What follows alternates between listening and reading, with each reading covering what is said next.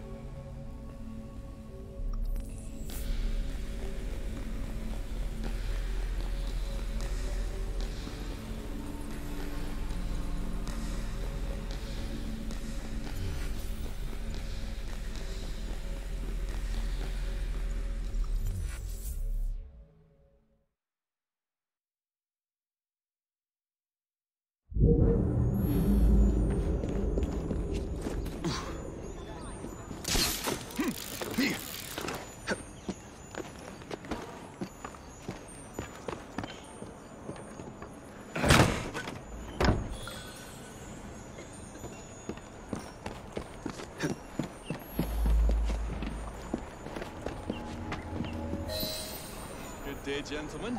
Oh, I, I would ask you in for tea, but I'm afraid I'm running rather late. Enough of the niceties. We've come to smash your place up, ain't we, Baz? You got one of them telly what's it's in here, ain't you? And you've been reading messages from the Starrick Company. That is as untrue as the notion that the Starrick Telegraph Company is emitting impartial information, sir. Come again? Your employer's promises are nothing but hot air, and his operations are about to turn pear-shaped. What you going on about air and pears for? Oh, I don't know, feel rough. Oh, that's disgusting! Oh!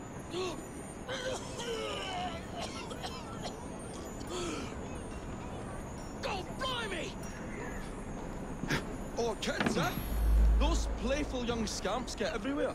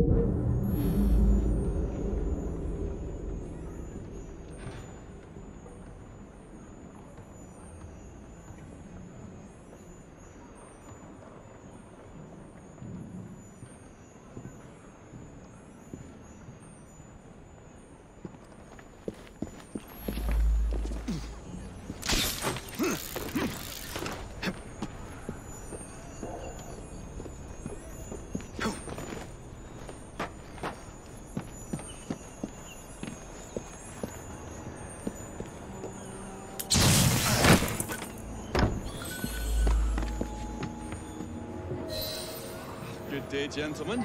Oh, I, I would ask you in for tea, but I'm afraid I'm running rather late.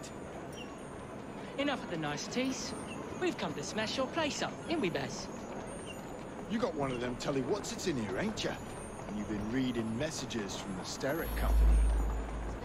That is as untrue as the notion that the Starrick Telegraph Company is emitting impartial information, sir.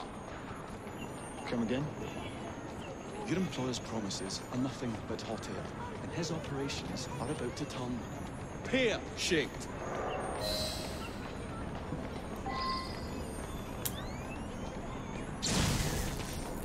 What you going on about air and pears for?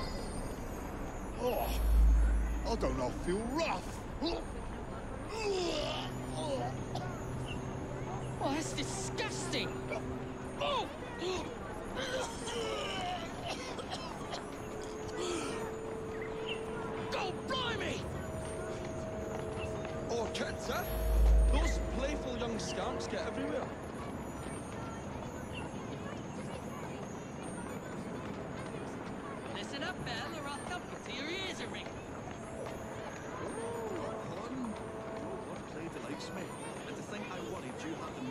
Agility of a dollop donkey's apples.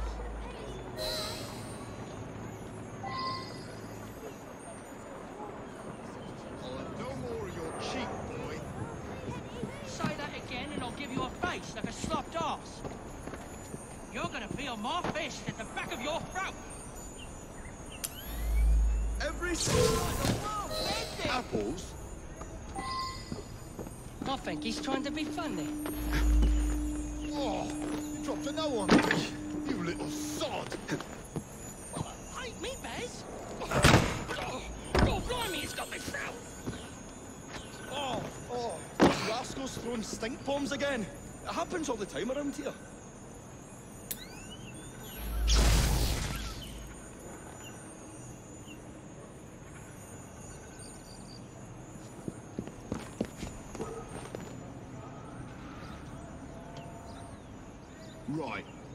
Where you keep that telly what's it. I'll count to three. Three? Well, well, let's see how far you get. One. Do you really think I was here?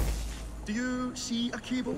A telegraph without a cable is about as useful as a bell without a clapper. I'll give you a bleeding clapper. Well, bless my boots, you're as purple as a plum.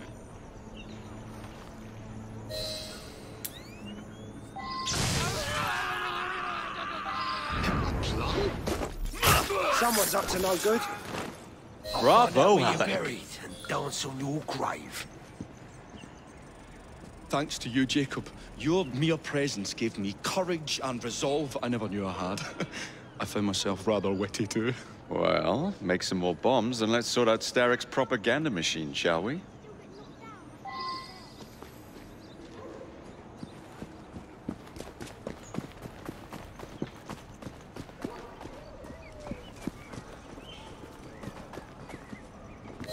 Come on, we haven't got all day. The longer we can keep Starrick from spewing out false information, the more we can awaken the Come with people me. with the truth I have a about his operations. Let's get to it then. Would you believe my mother says there are still some wives in her street that swear by that shooting setup? So I took it upon myself to tell her neighbours the truth about the obnoxious draft. Good on you, Alec. But you can't go knocking on everyone's door. No, I wasn't always welcome. Which shows how false information can be as difficult to stamp out as fishwives' profanities at Billingsgate. Or rats in the sewers. But if we can eradicate the source that continually feeds such detrimental trash, then little by little the truth will take the upper hand and the sham will be flushed out.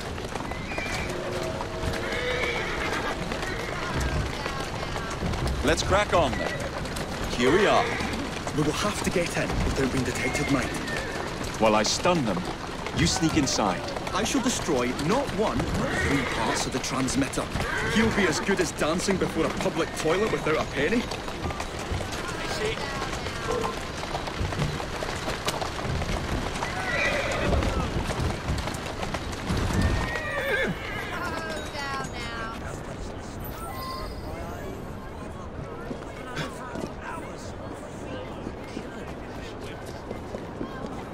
You! You're hired!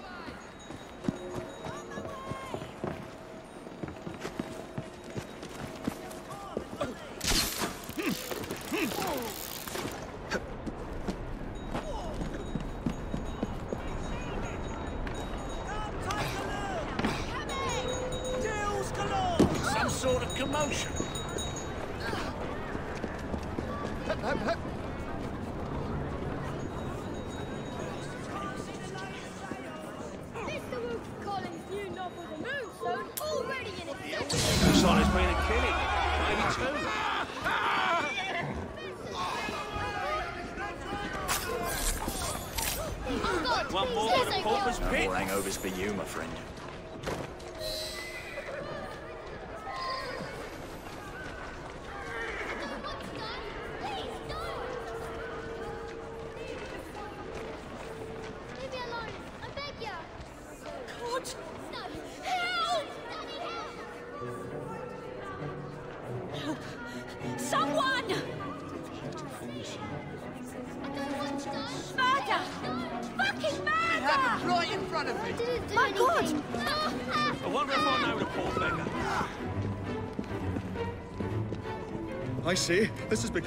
Perilous, to say the least.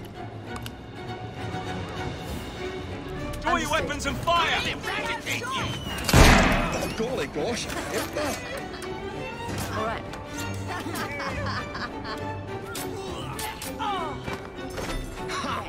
Got you, you little bugger. We'll have to I'm cross over to here. Take you home and feed you to me dogs.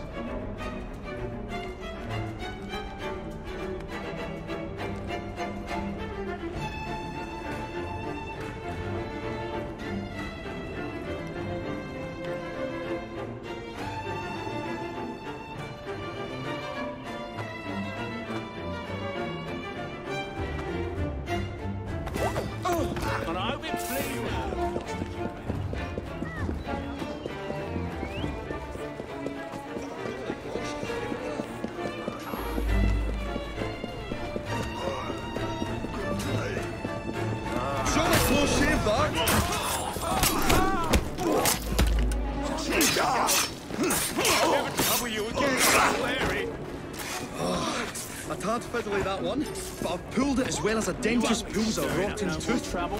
There. Move on to the next part, Alec.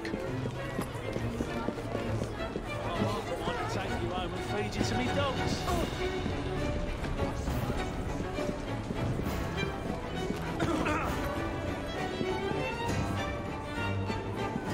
I say, this is becoming rather perilous, to say the least.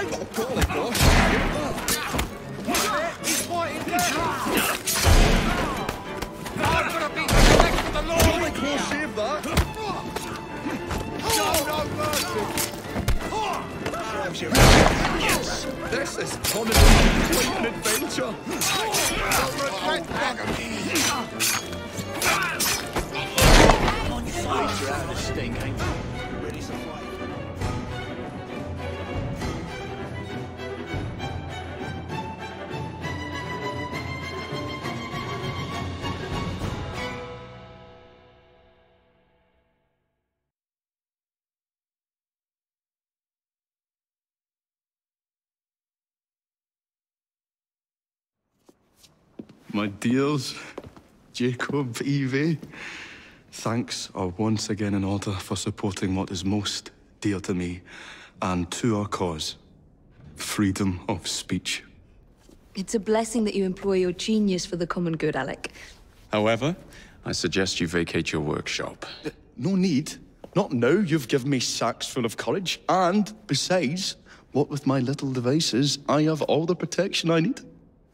Uh, should you find yourselves with a moment to spare, do drop by. Ah.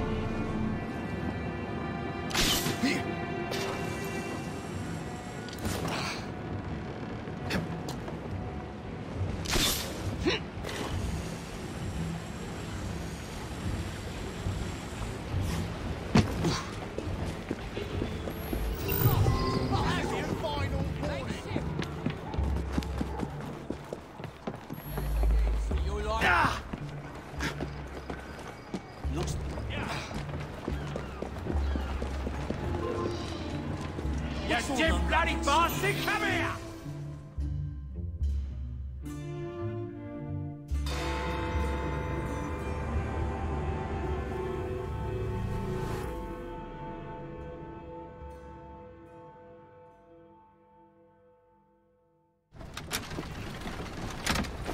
Jacob, darling, do join me.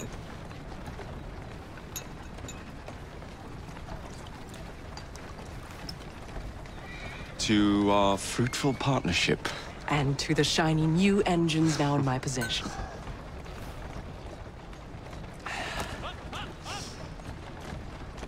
Back to business. Millner's fled to the Thames, occupied with securing his ferry. It's all he has left. Hmm, protecting it with his life, no doubt. The very thing I want you to take. Just kill him. That's not your first glass of champagne, is it? Success is more intoxicating than alcohol, Mr. Frye. Then save a glass for me. Extra, extra! Florence Nightingale advocates government regulation of Now, what would it take to draw out Starrick's paw? The sight of his ferries in flames, perhaps.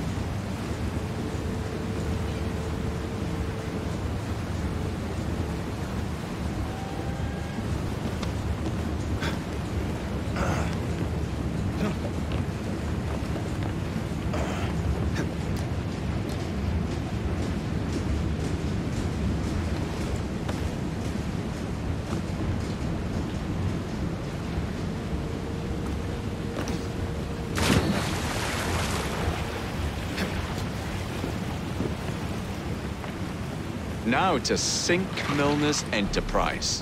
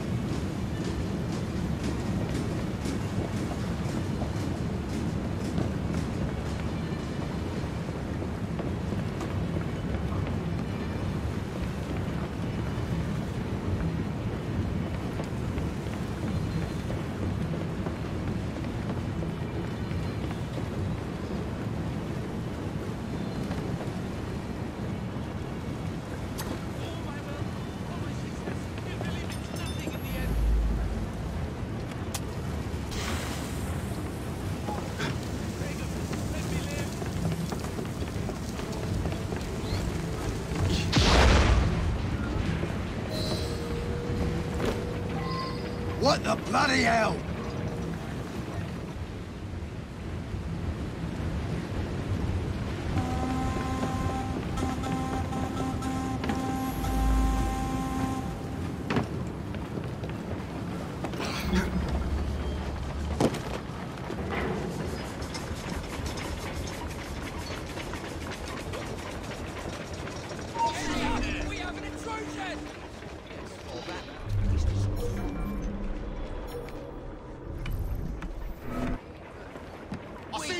Someone! He's right there! I see someone!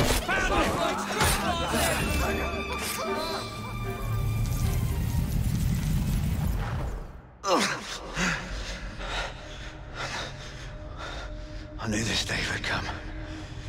Mr. Starrick was furious I lost the engines. So this is my comeuppance. Pearl Attaway led me to you, not And then we're gonna get her again.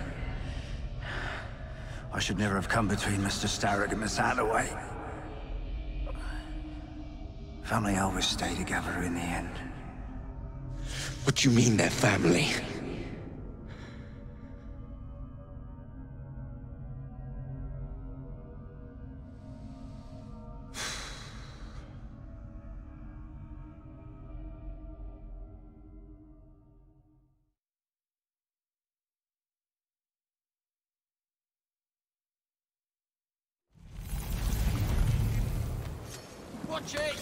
Time for Pearl and I to have a real conversation.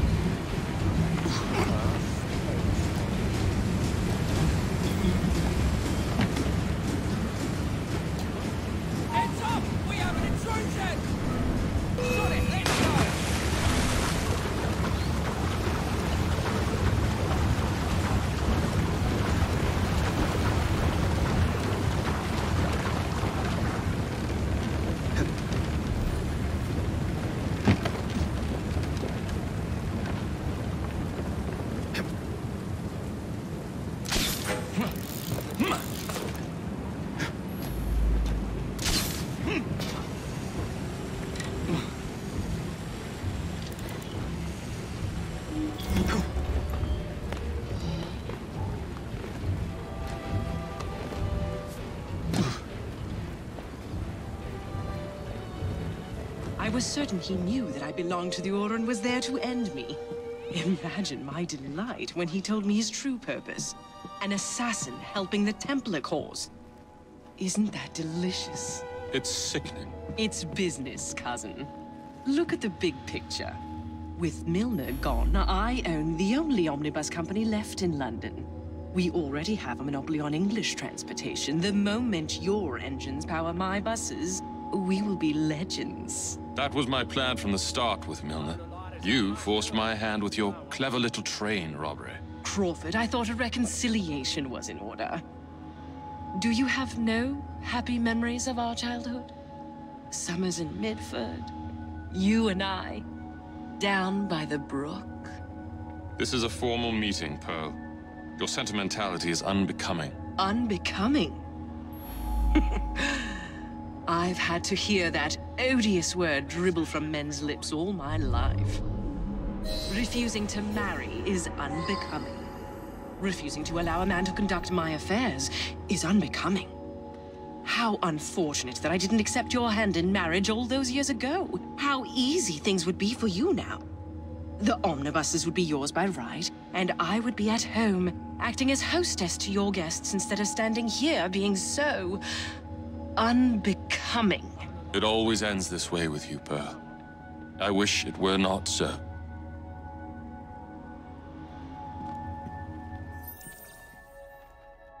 You glower too much, cousin.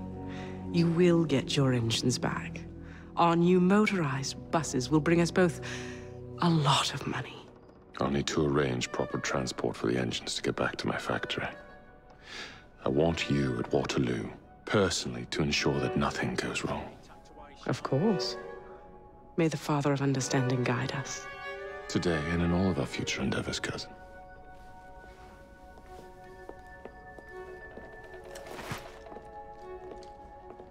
Waterloo Station. Door's jammed. Again? Just give it a shove. Grab him! Drag him out! Stop that trespasser! Contact